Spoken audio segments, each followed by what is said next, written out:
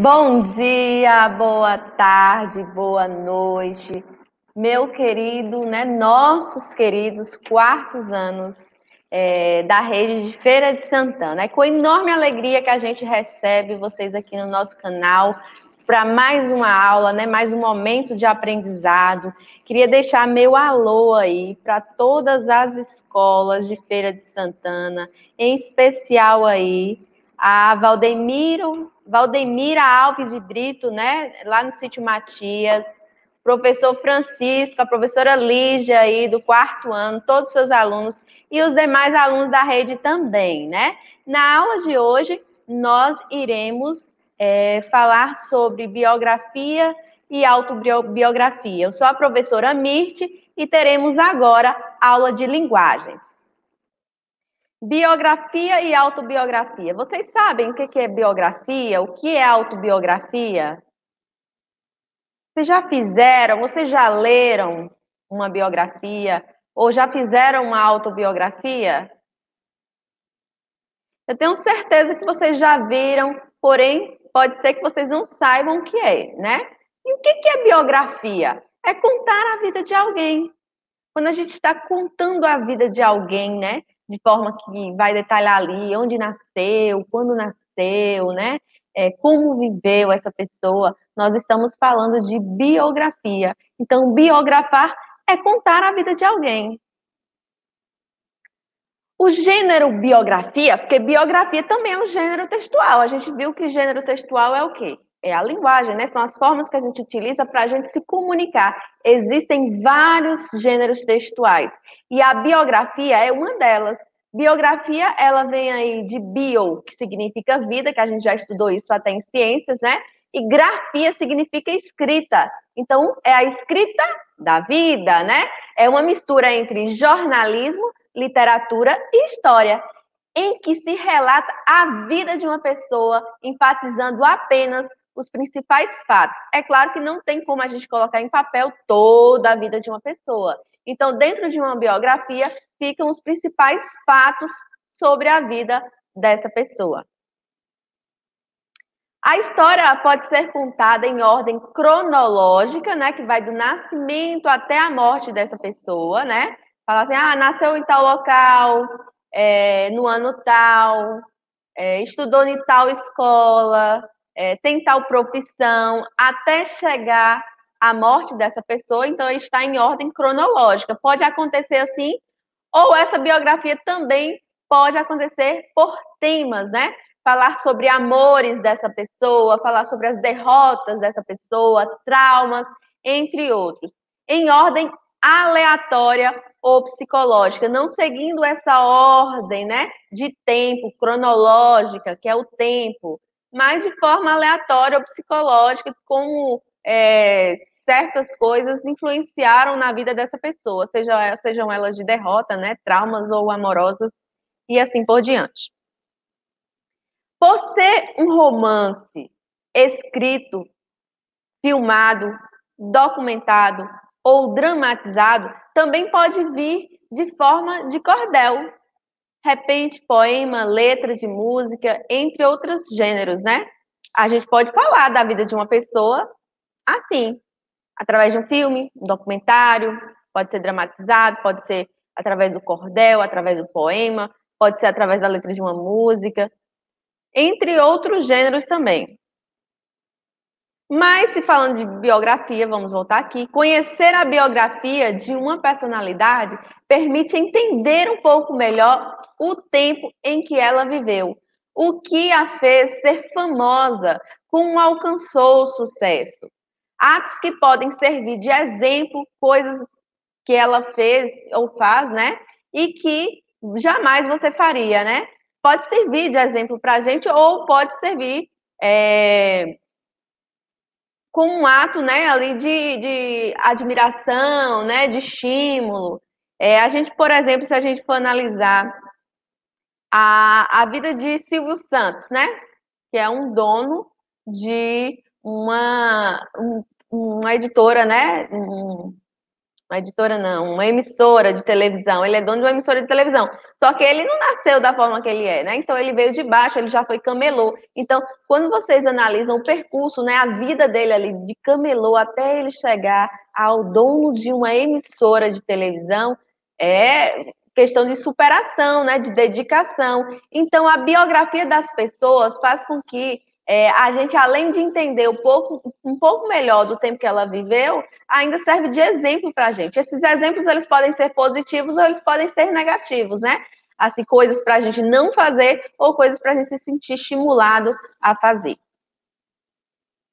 As principais características dos gêneros textuais, né, biografia no caso, são informações quanto ao nome da pessoa, a gente tem que colocar ali é, MIT, Queiroz Soares Santos, data do, e local de nascimento. Nasceu em Santa Maria da Vitória, no dia 6 de janeiro de 1990. Assim, a gente está iniciando aí uma biografia. Colocar os fatos importantes da vida dessa pessoa, né? Estudou a vida toda em escola pública, é, obteve uma nota de 95% na redação do Enem, entrou em uma universidade através do ProUni e assim por diante. A gente está falando, relatando a vida da pessoa. O texto narrado é, é, narrado em terceira pessoa, né? Nesse caso, a gente não se coloca dentro da história quando a gente fala em terceira pessoa, porque a gente não está, a gente não vai falar sobre nós mesmos, então uma pessoa fala sobre a outra, por isso que fica em terceira pessoa. Não, não vai estar, por exemplo, se eu colocasse, é, eu me chamo Mirth, nasci na cidade de Santa Maria da Vitória, isso aí não está na primeira pessoa, está na, na terceira pessoa, está na primeira pessoa, porque eu estou falando de mim mesma. Na terceira pessoa é quando alguém fala do outro, né? Então, Mirth nasceu em Santa Maria da Vitória, é, no ano de tal, tal, tal. Então, dessa forma, eu estaria aí contando a vida, é como se eu estivesse contando a vida de outra pessoa. Então, é uma biografia, certo? O relato dos fatos no texto biográfico aparece frequentemente pontuado de lembranças, porém com o compromisso de dizer a verdade, né? Então, quando a gente está relatando sobre a vida da gente, né, é, ou contando a vida de outra pessoa, no caso da biografia, da gente é autobiografia, contar a vida do outro é biografia. Quando a gente está contando sobre a vida de alguém, os fatos têm que ser reais, é, de verdade, né? O biografado é, em geral, uma pessoa importante cuja vida e obra tem interesse. Então, geralmente, as biografias que são feitas, né? É, esse biografado é uma pessoa que ela é influente, é uma pessoa que ela é importante e a vida dela tem interesse público, né? As pessoas têm interesse de conhecer a vida dela. É, pode ser que seja algo marcante, uma pessoa que, que foi trouxe muitas contribuições para a sociedade, ou possa ser que está contando de algo, né? De uma pessoa que fez algo muito negativo que não deve ser repetido aí é, na nossa sociedade, né? Eu trouxe para vocês aqui a biografia de Cândido Portinari. Como eu disse para vocês, a biografia é você contar a vida de alguém. E para isso tem que estar em terceira pessoa, porque você está contando de outra pessoa, você não está contando da sua própria vida, certo? Então vamos conhecer um pouquinho de Cândido Portinari? Cândido Portinari, ele nasceu aí em 1903, faleceu em 1962. Foi um pintor brasileiro, um dos principais nomes do modernismo, cujas obras alcançaram renome internacional. Como o painel Guerra e Paz, na sede da ONU, em Nova York, e em séries imigrantes do acervo do Museu da Arte de São Paulo, MASP, né? Cândido Portinari nasceu em Brodowski, no interior de São Paulo, no dia 29 de dezembro de 1903. Filho dos imigrantes italianos Giovan Battista Portinari e Dominica de Bassano, era o segundo filho entre 12 irmãos. Aos seis anos já começava a desenhar. Não concluiu o curso primário. Aos 14 anos, participa da restauração da igreja de Brodowski. Com 15 anos, Portinari vai para o Rio de Janeiro, se instala na casa de parentes e ingressa no Liceu de Artes e Ofícios. Mas a cidade grande não lhe fascina e retorna para Brodowski. Com 18 anos, retorna para o Rio e ingressa na Escola Nacional de Belas Artes. Esse é um exemplo de biografia que está contando aí a vida de Cândido Portinari, né? Ela, se a gente pegar ela completa, vai estar contando a vida e obra de Cândido Portinari, porque vai falar também sobre as obras dele, né? Os quadros. Tá aí um pintor, né? brasileiro muito famoso, um dos principais nomes aí do modernismo, é, que participou, né, ingressou aí na Escola Nacional de Belas Artes, só que desde muito pequenininho, né, é, Portinari já se interessava por desenhos, né? Aos seis anos ele já começou a desenhar. Isso, isso que a gente acabou de ver é uma biografia, que a Pro disse que a biografia é contar a vida de alguém. Mas e autobiografia? O que, que é autobiografia? A autobiografia ela é uma narrativa de caráter pessoal e o seu traço mais significativo é a participação do autor como personagem principal da história contada. Então, autobiografia é eu contar a minha própria história e eu participo é, do, do meu texto ali, né? Então, eu estou contando a minha história, eu vou falar sobre mim. Então, eu utilizo termos como, por exemplo, é, me chamo Mirte, nasci na cidade de Santa Maria da Vitória, no dia 6 de janeiro de 1990, ingressei na faculdade em 2008. Então, eu estou falando de mim mesma. Se trata então de uma autobiografia, auto de mim, biovida, grafia, uma escrita da minha vida, certo?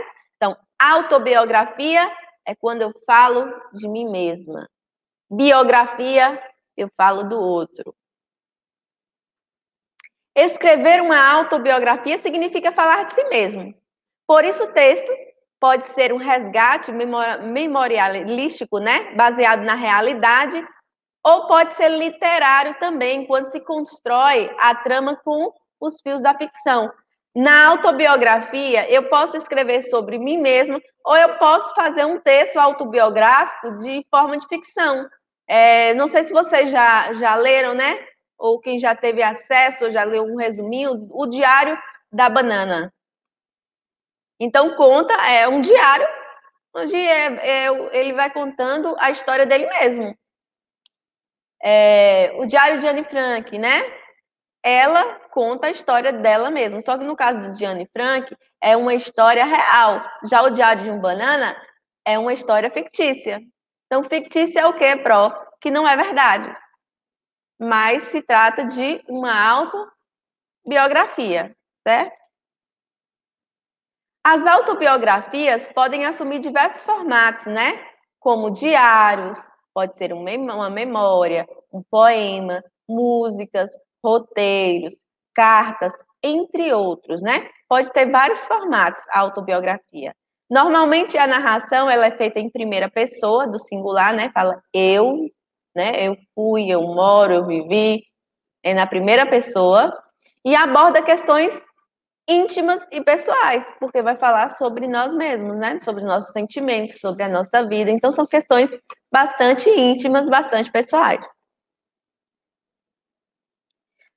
Leia aqui a apresentação que faz de si mesmo o escritor de livros infantis Bartolomeu Campos Queiroz. Olha só, isso é uma autobiografia. Nasci com 57 anos. Meu pai me legou seus 34. Vividos com duvidosos amores, desejos escondidos.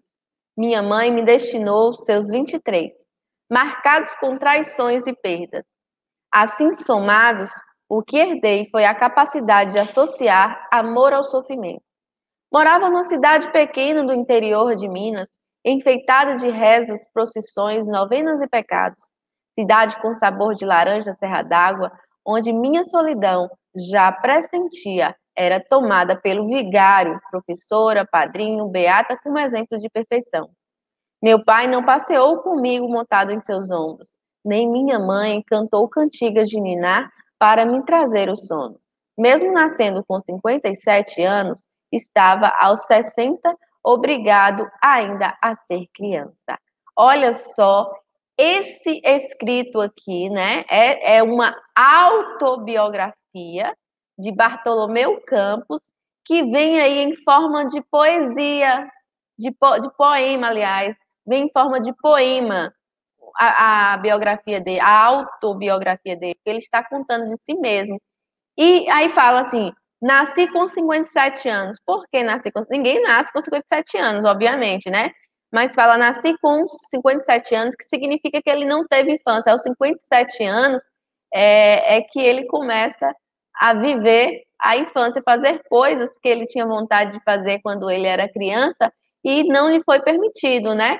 Então, por isso que ele diz: nasci aos 57 anos. Olha, notem que nasci, quem nasci, eu nasci. Então está aí em primeira pessoa, né? Ele está falando dele mesmo, tá? É uma biografia aí no formato de poema. Resumindo, autobiografia é o próprio autor escreve sobre os acontecimentos de sua vida, né? Ele vai falar dele mesmo. Já na biografia, o autor escreve sobre a vida de alguém. Na autobiografia, o texto ele é expressivo e subjetivo, né? É, expressa bem assim as questões íntimas, pessoais. Já na biografia, o texto ele é informativo e objetivo. Ele tem simplesmente é, o objetivo de informar algo. Na autobiografia, é narrado em primeira pessoa.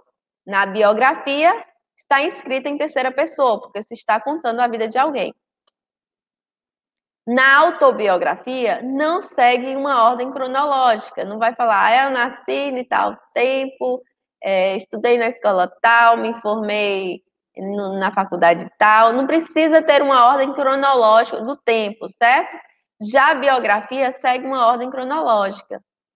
Na autobiografia, os verbos são usados no passado. Então, vai falar: eu nasci, eu fui, eu cantei, eu brinquei, eu dancei. Está no passado, o que foi? E na biografia, apresenta detalhes como locais, pessoas e eventos importantes. Alguns livros de bio, autobiografias temos aqui, ó. Minha História, de Michelle Obama, né?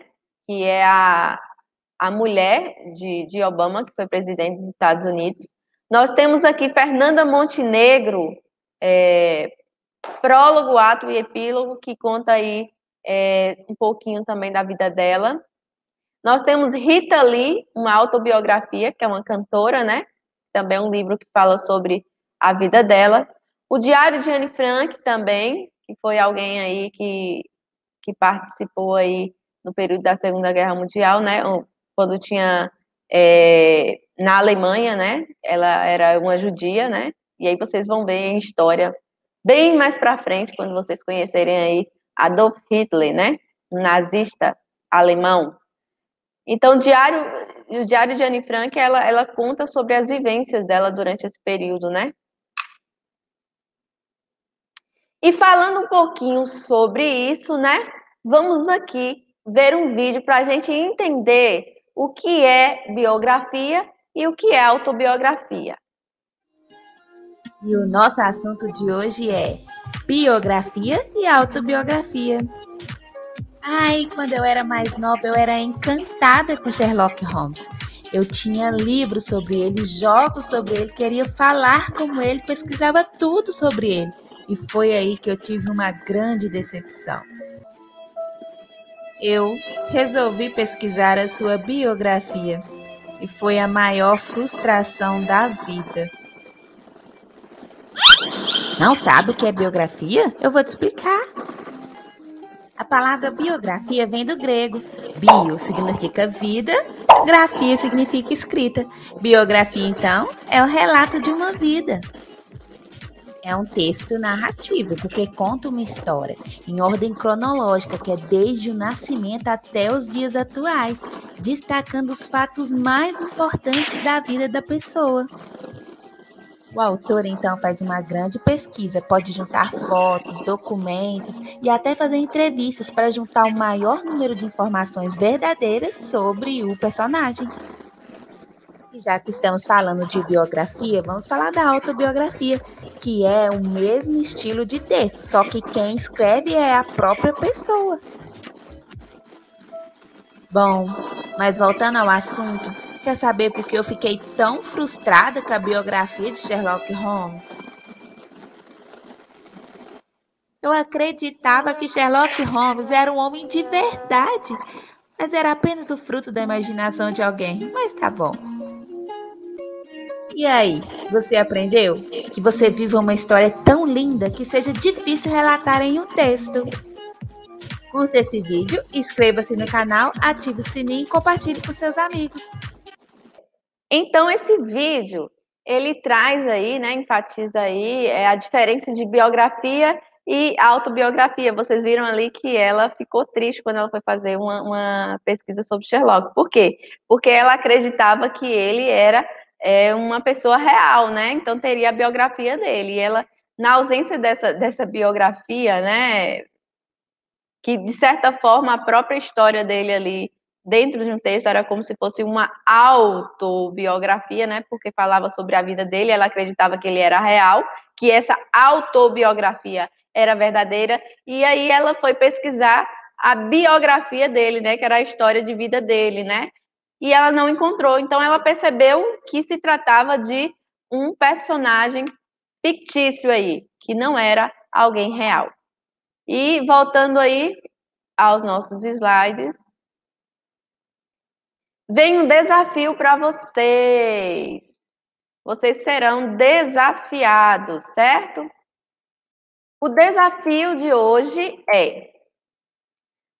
O desafio é vocês fazerem uma autobiografia. Para tanto, devem seguir os seguintes pontos fazer uma pesquisa com os familiares de vocês para entender um pouquinho aí da história de vocês. Aí vocês vão organizar os documentos como certidão de nascimento, RG, vão pedir para os pais de vocês falarem, né, um pouquinho aí sobre a história de vocês, né? De quando vocês eram ainda bebês até chegar hoje, né? Os momentos importantes que vocês já viveram para vocês construírem essa autobiografia.